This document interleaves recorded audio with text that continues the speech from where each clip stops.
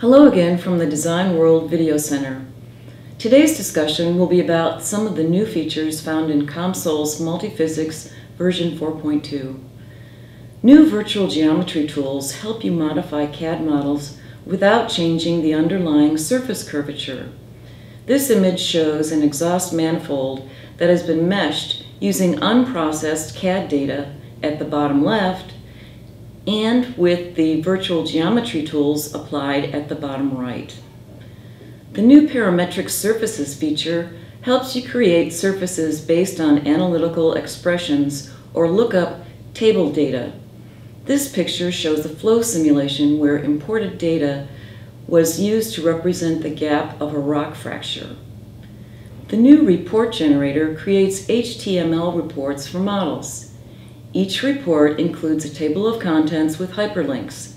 The software uses a built-in style sheet which you can customize to change the appearance of the report in a web browser. A new multi-physics interface for acoustic shell interaction enables modeling of vibrating thin elastic structures and their induced sound pressure field. This image shows a vibrating baffled membrane and the sound pressure level in the air that surrounds it. This picture shows the new thermoacoustic simulation of an acoustic coupler with a damped Helmholtz resonator. Using the acoustics module, the model includes thermal conduction and viscous losses and allows for customizing the acoustic response.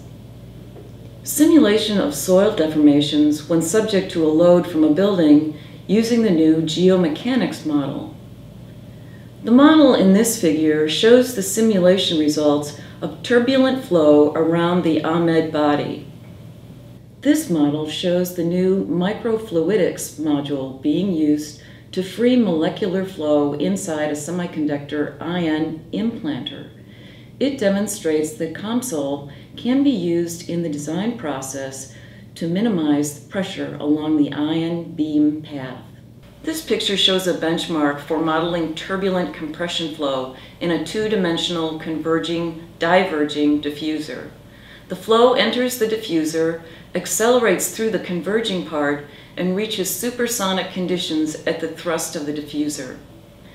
That's all for today. I hope this video was of interest to you. You can read about all the new features and functionality at www.comsol.com and click on the news page. Thank you for listening, and I'll see you again soon.